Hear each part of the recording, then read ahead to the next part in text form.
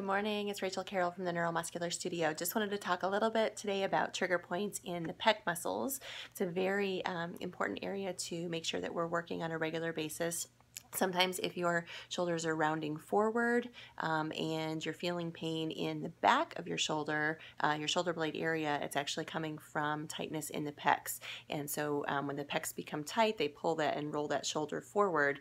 Um, trigger points in the pec muscle, especially the pec minor, can be very problematic, can cause a burning sensation in the anterior um, shoulder, front shoulder joint, and then down into the bicep. So if you take a look here, this is our trigger point uh, chart for um, trigger points in the pectoralis minor, which is the small muscle um, underneath the big uh, pec major muscle. So pec minor um, runs kind of at a 45 degree angle from um, the ribs, kind of the middle rib area, um, to um, the front of the shoulder and as you can see here, the front um, section of the shoulder is where the large referral area is, and then um, it refers all the way down and then into kind of where the bicep is on the inside of the arm, and this um, travels all the way down into the hand. So if you're having that type of a pain pattern and you feel like it's bicep or it's something from your workout, um, chances are it actually might be um, the pec muscle. So coming in and doing some neuromuscular work um, and getting that pec to release and then supporting all the